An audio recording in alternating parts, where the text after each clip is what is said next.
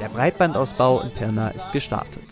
Gemeinsam mit Vertretern des Freistaates Sachsens, von Vodafone und weiteren angeschlossenen Unterstützern setzte Oberbürgermeister Klaus-Peter Hanke am Dienstag den symbolischen ersten Spatenstich. Es ist heute ein Abschnitt erreicht bei dem Breitbandausbau, wo wir in die wirklich sichtbare Phase und spürbare Phase hineinkommen. Der Weg bis zu diesem Spatenstich war durchaus kompliziert.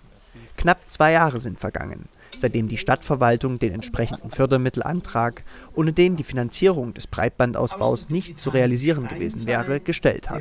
Welche Bedeutung dem Glasfasernetz künftig zugemessen wird, verdeutlicht nicht zuletzt der gewählte Veranstaltungsort an der Grundschule in Neuendorf. Ich bin sehr froh, dass es heute auch gerade hier in Neuendorf, was ja die ganze Zeit ein völlig unterversorgter Standort war, so richtig losgehen kann. Auch wenn es vermutlich etwas komisch klingen mag. Eine stabile Internetleitung ist heutzutage fast so wichtig wie fließendes Wasser, Licht oder Strom im Allgemeinen. Dass zahlreiche Haushalte digital noch ausgebremst sind, haben spätestens die vergangenen Monate mehr als deutlich gemacht.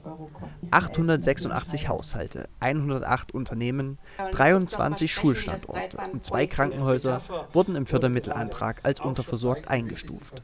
Ziel ist es dann natürlich gerade diesen Haushalten über dieses Projekt jetzt die Möglichkeit zu bieten, Glasfasergeschwindigkeiten zu nutzen, also wirklich bis zu 1000 Mbit, je nachdem natürlich, wofür sich der eine oder andere entscheidet.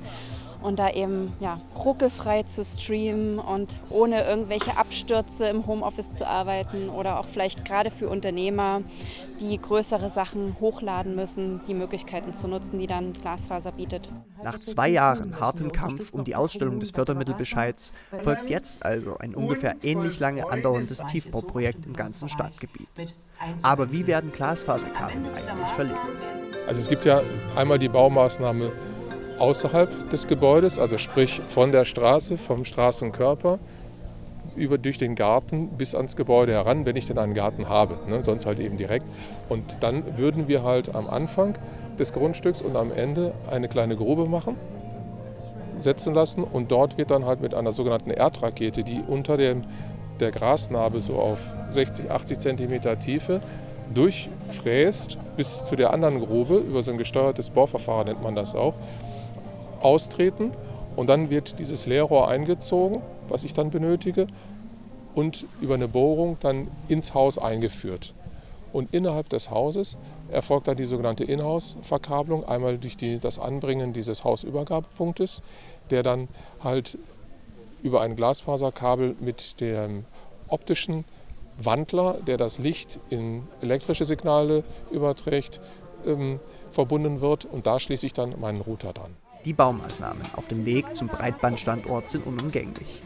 Oberbürgermeister Hanke glaubt trotzdem, dass sich die im Vergleich kleinen Umstände für die Pirna am Ende lohnen werden. Ich denke, die Pirna sind da schon durch unsere Hochwassermaßnahmen auch sehr, ich will mal sagen, kampferprobt. Und ich glaube, wenn man das Ziel vor Augen hat, dass es dann für alle die Möglichkeit gibt, wirklich schnelles Internet ins Haus zu bekommen, ich glaube, wir werden auch diese Baumaßnahmen überstehen.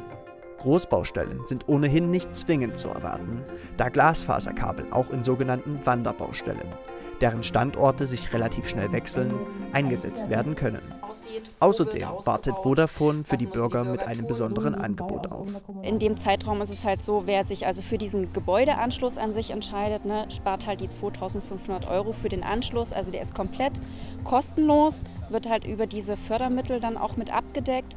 Und wer sich im selben Zeitraum eben auch für den Vodafone-Vertrag entscheidet, bekommt halt auch die Inhouse-Installation komplett im Haus im Wert von 399 Euro kostenlos dazu.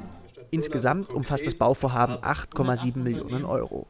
60 Prozent des Volumens trägt der Bund, 30 weitere werden vom Freistaat getragen.